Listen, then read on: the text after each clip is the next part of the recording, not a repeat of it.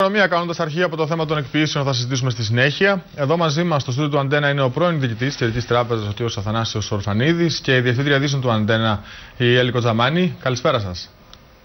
Καλησπέρα, βεβαίως. Να πούμε, Καλησπέρα. Γιάννη, αν μου, αν μου επιτρέπεις, είναι η πρώτη συνέντευξη που παραχωρήσε μέσω ενημέρωσης εδώ και πάρα, πάρα πολύ καιρό ο κ. Ορφανίδης. Δύο χρόνια έτσι. Και τον ευχαριστούμε ιδιαίτερα που είναι εδώ. Βεβαίως. Και εγώ ευχαριστώ που είμαι εδώ μαζί σας ε, να, να κάνουμε αρχή όντως με τις εκπίσει. Ε, Γιάννη, να ακούσουμε την άποψη του κ. Ορφανίδη, ο οποίος έζησε την Κεντρική Τράπεζα σε περιόδους ε, μεγένθυνσης ε, των δανειοδοτήσεων για απόκτηση ακίνητη ε, ιδιοκτησίας, ε, κ. Ορφανίδη. Και φτάσαμε σήμερα να συζητάμε ένα νομοσχέδιο για να ε, περιοριστεί ή να ενισχυθεί, αν θέλετε, το δικαίωμα των τραπεζών να προχωρούν σε εκποιήσεις για δάνεια που ονομάζουμε κόκκινα ή μη εξυπηρετούμε. Κοιτάξτε, αυτό είναι ένα πολύ σημαντικό θέμα και είναι παλιό θέμα. Έχει πολλά χρόνια που γινόταν προσπάθεια για να βελτιωθεί το πλαίσιο εκποιήσεων και πρέπει να βελτιωθεί, χρήζει βελτίωσης στο το πλαίσιο. Όμως με απασχολεί αυτή τη στιγμή το συγκεκριμένο νομοσχέδιο το οποίο είχε προταθεί από την κυβέρνηση γιατί δεν κρατάτε τις ισορροπίες που υπάρχουν με τους δανειολήπτες. Και να σας θυμίσω ποιο είναι το βασικό πρόβλημα. Υπήρχε μια ισορροπία μέχρι τώρα το ότι ήταν δύσκολο να γίνουν εκποίησεις, παίρνανε μερικά χρόνια, αλλά από την άλλη μεριά οι τράπεζες είχαν την ασφάλεια προσωπικών εγγυήσεων και ξέρανε ότι μπορούν να πάρουν προσωπικές εγγύησει, μπορούν να πάρουν χρήματα από τον ίδιο τον δανειολήπτη, από την οικογένειά του, από τους συγγενείς, τους φίλους του που είχαν βάλει τις υπογραφές τους στα δάνεια. Το τι βλέπουμε αυτή τη στιγμή με τα νομοσχέδια τα οποία υπάρχουν για εκποίησεις express είναι ότι χάνεται αυτή η ισορροπία. Και δεν θεωρώ ότι είναι ικανοποιητικό ακόμα να λέμε ότι μπορεί μια τράπεζα να πάρει το σπίτι μιας οικογένειας και μετά από ένα χρόνο να έρθει για να ζητά και τα ρέστα, διότι έχουμε ακόμα τις προσωπικές εγγύησεις. Νομίζω ότι πρέπει να βελτιωθεί το πλαίσιο, όμως χρήζει βελτίωση στο υφιστάμενο νομοσχέδιο, έτσι ώστε να κρατηθεί η ισορροπία μεταξύ των τραπεζών και των δανειοληπτών, όπως έπρεπε να έχουμε. Οι δικές σας υγιείς ποιες θα ήταν, κύριε Ορφανίδη, σε αυτό το ζήτημα, για να βρεθεί αυτή η χρυσή τομή, να σας θυμίζω ότι αυτό το θέμα απασχολεί την κοινωνία τους τελευταίους τουλάχιστον τρεις μήνες. Ε, να σας πω την αλήθεια, έχει χρόνια αυτή η υπόθεση και με λυπεί που δεν είχε γίνει διευθέτηση από την αρχή του μνημονίου με καλύτερο τρόπο. Η λύση που εισηγείται αυτή τη στιγμή η κυβέρνηση Αναστασιάδη, με λυπεί να πω, ότι είναι η ίδια λύση που ήταν στο μνημόνιο όπως είχε μπει στην αρχή από τον Νοέμβριο του 2012 με την κυβέρνηση Χριστόφια που είχε διαπραγματευτεί τότε η τότε διοίκηση της Κεντρικής Τράπεζας. Αυτό ήταν λάθος τότε και θα πρέπει να διορθωθεί και νομίζω ότι πρέπει να δούμε ποια είναι η ουσία του θέματος. Η ουσία του θέματος δεν είναι μόνο το θέμα των εκποιήσεων. Η ουσία του θέματος είναι ότι ορισμένα από τα στοιχεία του μνημονίου είχαν διαπραγματευτεί με λανθασμένο τρόπο. Αυτό είναι ένα, υπάρχουν κι άλλα και αυτά πρέπει να διορθωθούν. Η ουσία είναι ότι έχουμε αφαιρέσει από την κυπριακή οικονομία πολλά δισεκατομμύρια ευρώ και χρειάζεται μία επαναδιαπραγμάτευση του μνημονίου για να φέρουμε αυτά τα δισεκατομμύρια ε, που χάθηκαν Να επιμείνουμε λίγο πρώτα στο θέμα των εκπίσεων, κύριο Ορφανίδη, και να ρωτήσω, επειδή είναι ένα πρόβλημα που χρονίζει, είπατε και μόνος σας ότι έπρεπε να είχε λυθεί. Ποια μέτρα έπρεπε να είχαν ληφθεί πότε, όταν είχαμε ισχυρές, δυνατές ε, τράπεζες και μπορούσαμε να ε, βελτιώσουμε αυτό το πλαίσιο των εκπίσεων για να μην χρειαστεί τώρα να κινδυνεύουν ναι. ε, οι ιδιόκτητες κατοικίες, πρώτες κατοικίες, κύριες κατοικίες ευάλωτων ομάδων; Ναι. Να σας πω πράγματα τα οποία αυτή τη στιγμή είναι πολύ αργά για να γίνουν. Ε, όταν ήμουνα στην, στην κεντρική, υπήρχε η πρόταση να επιτρέπονται οι εκποίησει άμεσα, αλλά για καινούργια δάνεια. Και αν υιοθετούσαμε αυτές τις προτάσεις το 2007, το 2008, αυτή τη στιγμή θα προστατεύαμε τον κόσμο. Και θα σας πω το ότι αν το κάναμε τότε, δεν θα είχαμε επίσης το θέμα των προσωπικών εγγυήσεων, διότι από το 2007-2008, εφόσον θα μπορούσαν να κάνουν, ε, ε, κάνουν εκποίησεις οι τράπεζες, δεν θα απαιτούσαν τις επιπρόσθετες προσωπικές εγγυήσεις που, που, που βάζουν αυτή τη στιγμή. Επειδή δεν το κάναμε τώρα, έχουμε αυτή τη στιγμή την δυσκολία πώς να χειριστούμε το θέμα. Αυτή τη στιγμή όμως είναι η χείριστη στιγμή για να λέμε στον κόσμο ότι τώρα που είναι άνεργοι ή που κινδυνεύουν να γίνουν άνεργοι, θα αφήσουμε τις τράπεζες να τους παίρνουν για τα σπίτια τους και μετά να χρωστούν πάλι τα δάνειά τους. Αυτή είναι η χείριστη στιγμή για να γίνουν οι διευθετήσεις που γίνονται με τον τρόπο που γίνονται.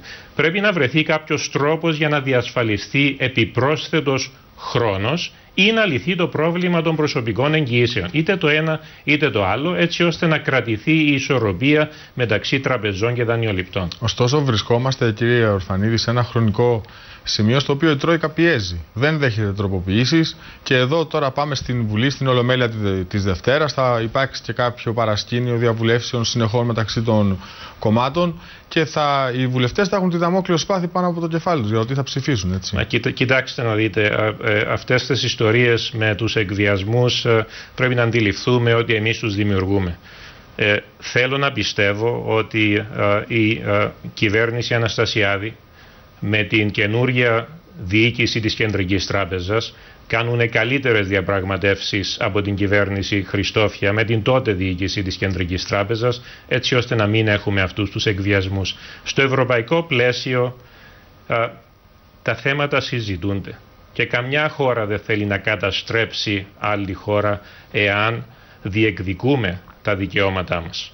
Και ε, πιστεύω ότι υπάρχει πιστεύετε ότι υπάρχει ακόμα περιθώριο; Η, η, η Τρόικα μας έχει πει όχι σε όλες τις αλλαγές που έχουν προτείνει τα κόμματα στο συγκεκριμένο νομοσχέδιο και το μόνο που μπόρεσε να απαντήσει η κυβέρνηση ήταν καταθέτουμε το νομοσχέδιο, περιμένουμε να ψηφιστεί και σε ένα μεταγενέστερο στάδιο προχωρούμε σε αλλαγές εάν διαπιστώσουμε ότι το σύστημα που θα εφαρμόσουμε δεν ε, θα, θα έχει τροτά σημεία.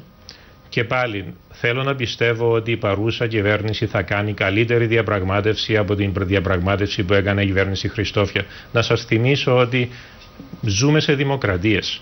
Και η Τρόικα αντιλαμβάνεται ότι και στην Κύπρο, όπως και σε άλλες χώρες, έχουμε δημοκρατία. Αντιλαμβάνονται ότι η Βουλή των Αντιπροσώπων είναι που καλείται για να ψηφίσει ένα συγκεκριμένο νομοσχέδιο και αντιλαμβάνονται ότι εάν δεν δώσουν τις επιλογές που μπορούν να επιτρέψουν στους αντιπροσώπους του λαού να ψηφίσουν ένα νομοσχέδιο, τότε πρέπει να συνεχίσουν την διαπραγμάτευση. Αυτό είναι η δημοκρατία. Ωστόσο, είδαμε, κύριε Ορφανίδη, το τι έγινε με το κούρεμα των καταθέσεων εδώ, έτσι.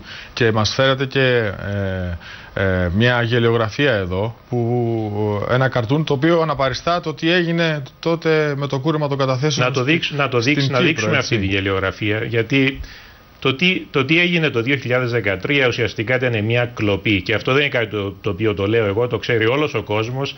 αυτή η γελιογραφία είναι από έναν Γερμανό γελιογράφο, ο οποίος τον, τον Μάρτιο του, του 2013 αντελήφθηκε την κλοπή που έγινε στην Κύπρο. Όμως πρέπει να, πρέπει να θυμόμαστε πώς έγινε αυτή η κλοπή.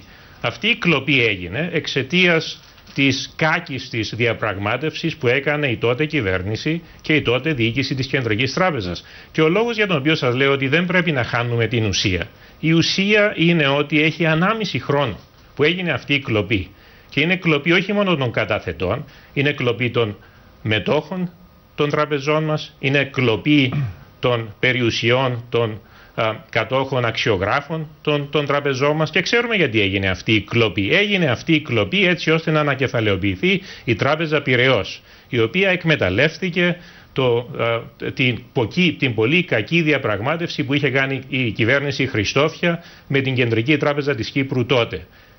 Μετά από ανάμιση χρόνο, ειλικρινά θα περίμενα ότι η νέα κυβέρνηση και ιδίως τώρα που έχουμε νέα διεύθυνση στην Κεντρική Τράπεζα, αυτό το σημείο ήδη θα το είχαν στο τραπέζι για επαναδιαπραγμάτευση. Και μιλούμε για δισεκατομμύρια ευρώ. Δεν πρέπει να χάνουμε την ουσία. Αντί να μιλούμε για το ότι θα πρέπει να, να αφήσουμε τις τράπεζες να παίρνουν τις περιουσίες του κόσμου, τον οποίο τον κάναμε άνεργο με αυτές τις πράξεις θα έπρεπε να, να κάνουμε κινήσεις για να φέρουμε πίσω τα κλεμμένα χρήματα στην Κύπρο. Ε, κύριε Ορφανίδη, το υπερμε, υπερμεγέθης ε, τράπεζες, το υπερμεγέθες τραπεζικό σύστημα ε, είναι ένα φαινόμενο που δεν είναι σημερινό. Ε, και η Κεντρική Τράπεζα της Κύπρου ε, φρόντισε να το μεγαλώσει και ήσασταν εσείς που είχατε τη διοίκηση της Κεντρικής Τράπεζας όταν αναπτυσσόταν, εξελισσόταν, μεγάλωνε και μεγάλωνε ανεξέλεγκτα αυτό το τραπεζικό σύστημα και έφτασε στο σημείο να χρειάζεται ε, ανακεφαλαιοποίησεις που να μην μπορούν να γίνουν χωρίς να παρέμβει η Τρόικ. Ε, θα πρέπει να διαχωρίσουμε την, την προπαγάνδα από τα γεγονότα. Γιατί αυτό το παραμύθι το ότι μεταξύ του 2007 και του 2012 είχε φουσκώσει ο τραπεζικός σύστημα, ξέρουμε ότι τα δεδομένα δεν είναι έτσι. Μπορείτε να δείτε τα στοιχεία. Μα η μεγάλη επέκταση των τραπεζών μας στο εξωτερικό έγινε Μπορείτε να δείτε τα στοιχεία της Κεντρικής Τράπεζας, για παράδειγμα, τα οποία δείχνουν τι ήταν το μέγεθος του τραπεζικού συστήματος σαν ποσοστό του ΑΕΠ όταν μας βάλανε στην Ευρωζώνη που ήταν το καλοκαίρι του 2007. Και μετά μπορείτε να δείτε τι ήταν το μέγεθος όταν η Κύπρος ζήτησε Αναφέρεστε να μπει στο, στο, στο που έχουμε έτσι. Όχι, δεν, δεν, δεν είναι εκείνο, αλλά είναι, ήταν, το μέγεθος του τραπεζικού τομέα ήταν, ήταν το ίδιο. Και κοιτάξτε να δείτε, έγινε μια μεγάλη καταστροφή στην Κύπρο και χρειάζεται διαφάνεια για να αντιληφθεί ο λαός, ο οποίος αυτή τη στιγμή πληρώνει το τίμημα των κακών χειρισμών που έχουν γίνει, ποιος ευθύνεται. Και πιστεύω ακράδαντα ότι πρέπει να έχουμε αυτή τη διαφάνεια, πρέπει να έχουμε αυτή τη διαφάνεια τώρα.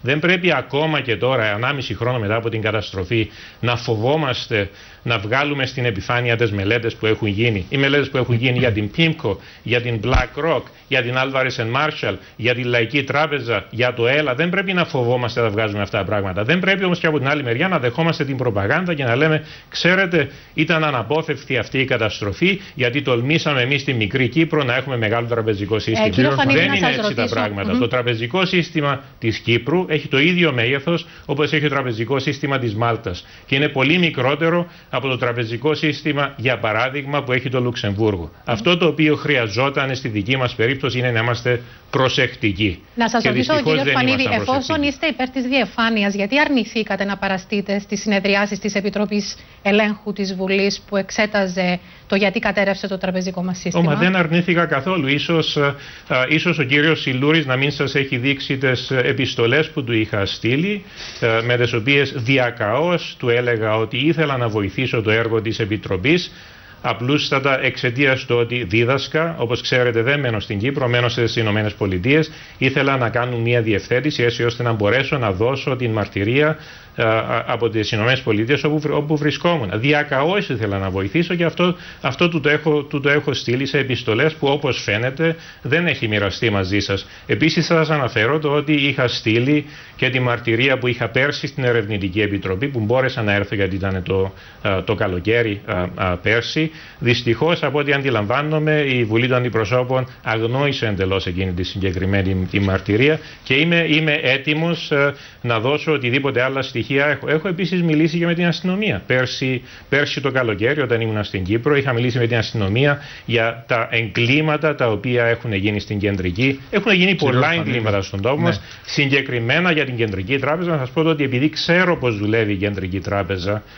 και είναι με λύπη μου που το λέω αυτό το, το πράγμα, έχω διαπιστώσει πολλά εγκλήματα τα οποία, τα οποία έχουν γίνει και με προβληματίζει για ποιο λόγο ακόμα τα κρύβουμε. Και ελπίζω τώρα που έχουμε καινούργια διεύθυνση στην, στην Κεντρική Τράπεζα να σταματήσει αυτή η συγκάλυψη των εγκλημάτων που έγιναν από στελέχη που εξ όσων αντιλαμβάνομαι είναι ακόμα μέσα στην Κεντρική Τράπεζα. Δεν έχουν όλοι φύγει. Θέλω μια πολύ σύντομη απάντηση. Στο πόρισμα της Ερευνητικής Επιτροπής αναφέρεται ότι εσείς έχετε, είχατε ευθύνες διότι στην αγορά των ελληνικών ομολόγων είχατε χαλαρό εποπτικό ρόλο. Και όλοι θυμόμαστε τι έγινε με το κούρεμα των ελληνικών ομολόγων. Πώς απαντάτε σε αυτό, ε, ε Αυτό είναι ένα, είναι ένα από τα στοιχεία στα οποία και πάλι με, με λυπεί η παραπληροφόρηση και η προπαγάνδα, όπως είχα εξηγήσει πέρσι στην, ε, στην Επιτροπή Πική και το έχω κάνει γι' αυτό και σε δοκίμια που έχω γράψει. Μπορείτε να δείτε στις ιστοσελίδες να τα βρείτε. Το, το πλαίσιο για τα κυβερνητικά ομόλογα ήταν κάτι το οποίο είχε αποφασιστεί από τις κυβερνήσεις της Ευρωπαϊκής Ένωσης, την κυβέρνηση Χριστόφια στη δική μας περίπτωση και δεν επέτρεπε στις εποπτικές αρχές να παρέμβουν στις αγορές των ομολόγων της ζώνης του ευρώ από ομόλογα ε, από, από τις τράπεζες ε, των, των χωρών της ζώνης του ευρώ. αυτό, το, αυτό το είχαμε εξηγήσει. Θα πάω όμως και παραπέρα. Δεν, και έχουμε, θέλω χρόνο, να ότι, ναι, δεν έχουμε χρόνο. Θέλω όμως, θέλω όμως να ναι. σας πω το ότι, θέλω όμως να σας πω το ότι παρά το δώρο το οποίο ο πρόεδρος Χριστόφιας αποφάσισε να κάνει στην ελληνική κυβέρνηση με τα ελληνικά ομόλογα, το, το σύστημα μας άντεχε ε, όταν έφυγα από την Κεντρική Τράπεζα και γι' αυτό θέλω να, θέλω να δούμε ένα, ένα άλλο διάγραμμα το οποίο σας έχω φέρει με ανάλυση από το Διεθνές Νοσηματικό Ταμείο το οποίο δείχνει ποια ήταν η πορεία της κυπριακής οικονομίας την άνοιξη του 2012 όταν τέλειωσε η θητεία μου και ποια είναι η πορεία όπως διαγράφεται σήμερα. Το τι έγινε δυστυχώς στην Κύπρο είναι ότι μετά που έφυγα από την Κεντρική Τράπεζα και το ΑΚΕΛ μπορούσε να έχει άμεση ευθύνη του τραπεζικού συστήματος και της οικονομίας, αποφάσισε να αρχίσει ένα πόλεμο των τραπεζών και όπως θα είδατε στο διάγραμμα, αυτός ο πόλεμος των τραπεζών έχει, έχει ρίξει Σας το κατακεφαλήν ΑΕΠ της χώρας 15%. Μιλούμε για πολλές χιλιάδες ευρώ για το κάθε νοικοκυριό. Και εγώ σας ευχαριστώ. Έλλη, επίσης, καλή συνέχεια. Καλό βράδυ. Εισηγήσεις ε, για